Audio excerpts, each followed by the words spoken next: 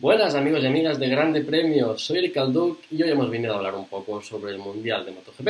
Y es que en un fin de semana sin Fórmula 1 tuvimos un apasionante Gran Premio de Australia en el que se nos dejó grandes luchas, una victoria sorprendente de Alex Rins y un podio número 100 de Marc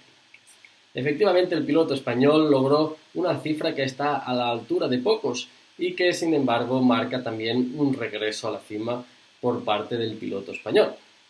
Antes de nada también quiero dejaros un recado y os animo a darle like a este vídeo, a dejar un comentario y sin duda eh, inscribiros en nuestro canal. Como hemos dicho, Mar Márquez logró un podio especial, un podio diferente y es que marca el regreso del piloto español a lo alto del MotoGP después de recuperarse de una nueva cirugía en su brazo derecho que viene acumulando eh, muchos dolores de cabeza debido al, accidente que sufrió y a la fractura que sufrió en, el año 2020 en el circuito de Jerez. El piloto catalán pues, ha logrado un podio también bastante eh, esperanzador para el equipo Honda que viene acumulando un año muy negativo, con muy pocos resultados, sin ninguna victoria y con tan solo un podio de Paul Espargaró en la cita inaugural en Qatar.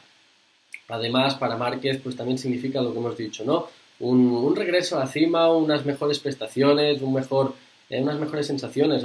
encima de la moto y que incluso él mismo al bajarse, al bajarse de ella después de la carrera ya remarcó, ¿no? Esas sensaciones de poder disfrutar más encima de la moto, de poder eh, conducir ya un poco como conducía antes de, de, ese accidente y sin tantas limitaciones en un brazo que empieza ya a recuperar una normalidad mucho mayor que en las otras recuperaciones que venía teniendo.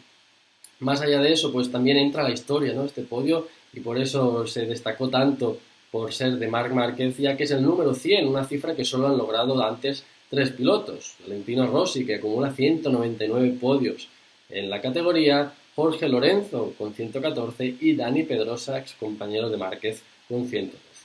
Si pues Márquez es el cuarto piloto con más podios de la categoría a alcanzar esta cifra de, de 100.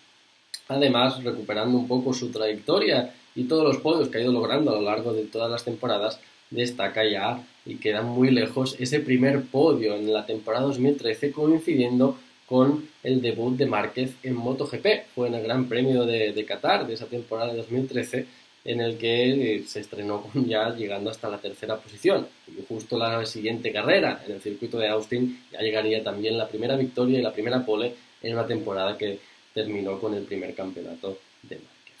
Así pues, eh, repasando también sus, números dentro de, lo que vienen a ser los podios, también destaca esos 18 podios que logró durante la temporada 2019, que es un récord absoluto y que no se había logrado antes en el Mundial de Motociclismo.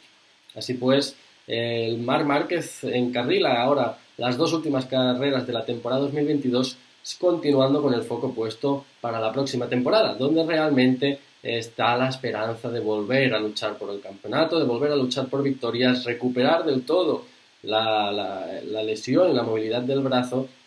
y de esta forma intentar volver a ser competitivo y a poder luchar de tú a tú contra, con todos sus rivales. Así pues, a vosotros, ¿qué os ha parecido este podio número 100 de Mar Márquez? ¿Creéis que conseguirá el año que viene volver a luchar por el campeonato? Dejad un comentario y os leemos